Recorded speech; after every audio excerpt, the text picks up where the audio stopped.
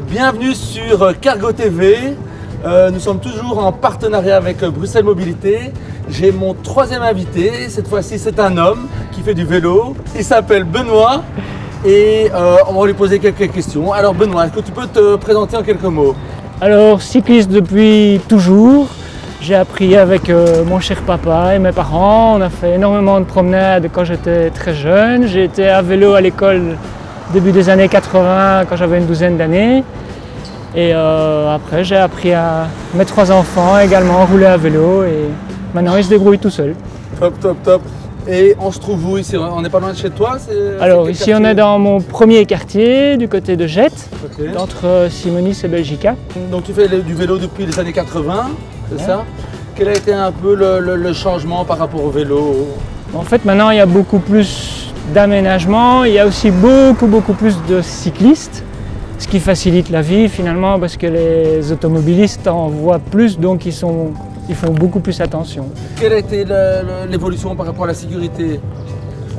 Ça dépend comment on roule. Oui, c'est peut-être plus sécurisant maintenant que Ah par le passé. quand même plus en plus. Oui, Ah ouais. C'est ouais, plus ouais. facile parce qu'on est plus de cyclistes, Voilà, tout ça. simplement.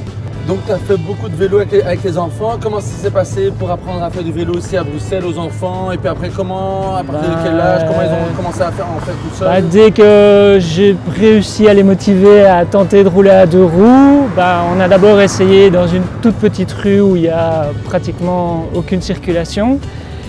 Et puis euh, bah, petit à petit, quand euh, j'ai senti qu'ils étaient de plus en plus à l'aise, je n'ai pas hésité à, à les emmener sur la rue directement. C'était une période stressante pour toi de, de rouler comme ça avec eux ou plutôt Non. amusante Non, c'était amusant, mais c'était allez, mon apport de papa à mon enfant de pouvoir euh, ben, leur apprendre à rouler à vélo et, C'est ça, ouais. et- et- et de- d'avoir une certaine indépendance.